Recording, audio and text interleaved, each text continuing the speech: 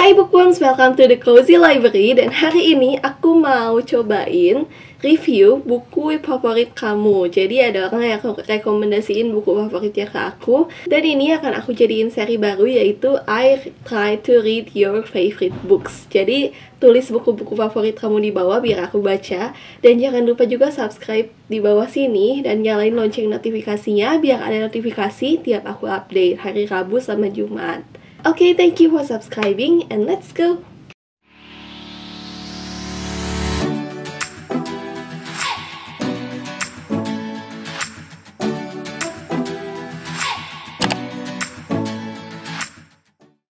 Buku favorit kamu yang pertama kali aku baca dan review kali ini adalah bukunya rekomendasi temen aku, Yon. Uh, dia rekomendasiin buku ini karena katanya dia suka banget buku ini Uh, judulnya adalah The Ocean at the End of the Lane karyanya Neil Gaiman. Yang pertama kali aku notice di buku ini adalah covernya cantik banget.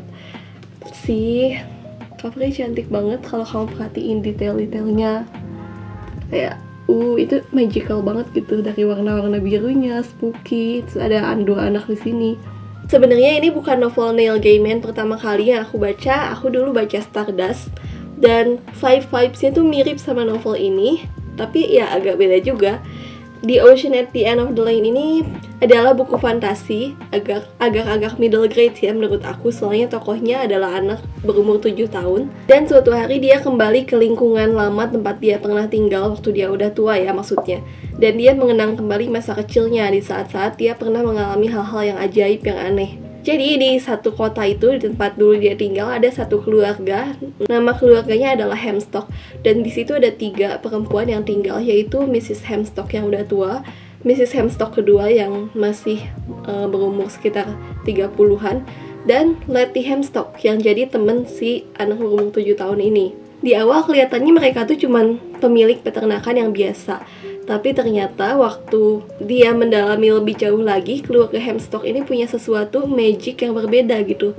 Jadi bisa aja sebenarnya mereka udah hidup beribu-ribu tahun dan bersama keluarga Hemstock ini yang tiga orang cewek ini, uh, dia tuh mengalami kejadian-kejadian yang ajaib. Nah karena buku ini genre-nya adalah fantasi, aku salut banget sama imajinasinya Neil Gaiman di dalam buku ini ini tuh beneran lumayan sulit buat dibayangkan.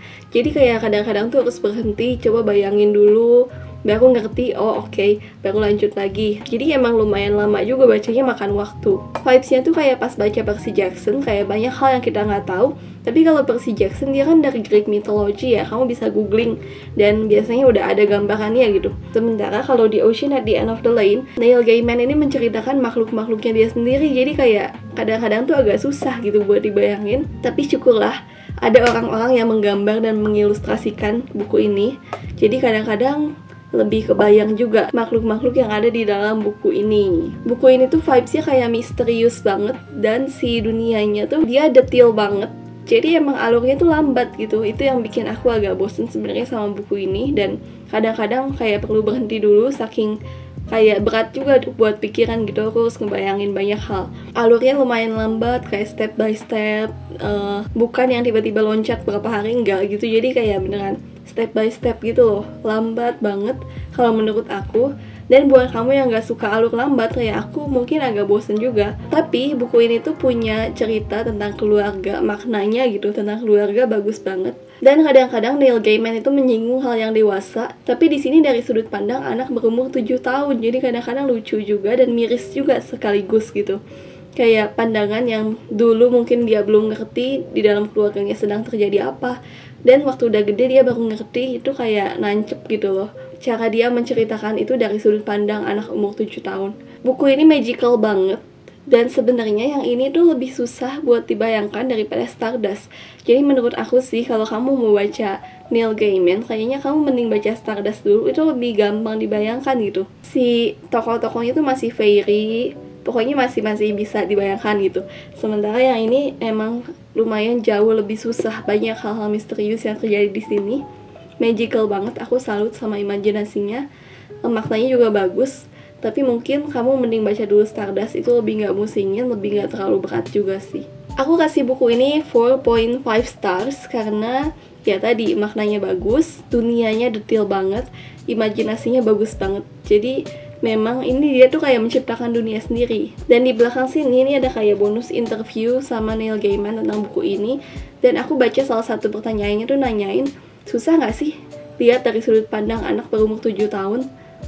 Itu memang aku langsung kepikir bener juga ya. Dia nulis dari sudut pandang anak berumur 7 tahun tuh kayaknya susah deh. Maksudnya kita yang udah dewasa ini tuh harus membayangkan kalau kita jadi anak 7 tahun, kita mikir apa gitu lihat kejadian-kejadian tersebut. Dan buku ini juga mengajari jangan cepat percaya sama apa yang kelihatan di depan gitu.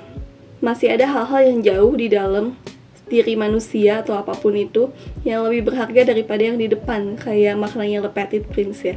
Tapi di sini diceritakan dengan lebih magical lagi. Sebenarnya ada beberapa quotes-quotes yang pingin aku ambil dari sini, tapi kemarin waktu aku tandain aku inget ini buku orang jadi nggak aku tandain pokoknya quotes quotesnya itu tuh lebih tentang keluarga dan tentang growing up aku ingat Mrs. Hemstock yang udah tua banget pernah bilang ke si anak umur 7 tahun itu growing up itu atau bertumbuh itu bukan berarti jadi seseorang yang hebat atau enggak gitu. Tapi bertumbuh itu punya makna yang lebih dalam lagi daripada kamu menjadi orang yang sukses atau tidak. Di luar itu gitu, kamu berhasil bertumbuh dan belajar sesuatu dan mendewasakan diri itu udah sesuatu hal yang lebih penting daripada jadi orang yang hebat. Itu salah satu makna yang aku suka dari buku ini. Oke, okay, that's it the review. Thank you Yon sudah memperkenalkan aku sama bukunya Neil Gaiman. Gue rasa aku akan baca lagi lebih banyak bukunya Neil Gaiman karena rasanya magical banget buku-bukunya dia tuh. Oke, okay, that's it for the review. Kamu punya buku favorit apa? Tulis di bawah biar aku bisa baca dan aku review. Oke, okay, thank you for watching. Happy reading and bye-bye.